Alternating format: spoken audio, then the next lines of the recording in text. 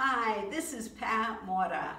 You and I know Book Joy, which is why over 20 years ago I founded Children's Day Book Day, El Día de los Niños, El Día de los Libros. I feel lucky to be a reader and a writer, to savor words, word joy. Wonderful Lee and Low Books is publishing my new book, Book Joy, Word Joy, illustrated by the wonderful Raúl Colón. Such talent, such energy on the pages. I hope that as you turn the pages of the book, you will savor word joy and that you will find poems you'd like to share.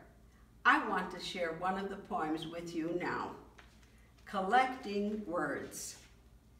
All day, I collect words words that move like wiggle, glowing words like candle, drifting words like butterfly, singing words like ding dong.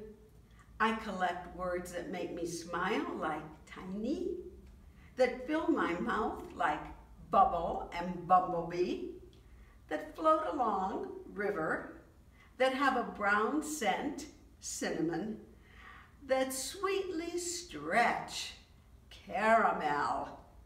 I collect short words, hard words like brick, soft words like lullaby, cozy words, snug, funny words, rambunctious, scary words, snake, jumpy words, hiccup, big words, onomatopoeia, oink, oink.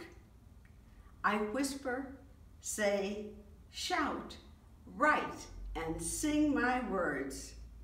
What words will you collect today?